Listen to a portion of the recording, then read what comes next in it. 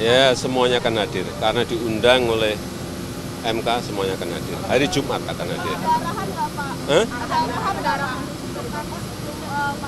Ya menerangkan apa yang sudah dilakukan masing-masing menteri.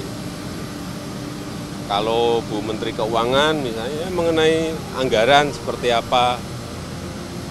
Kalau Bu Mensos mengenai bantuan sosial dijelaskan seperti apa.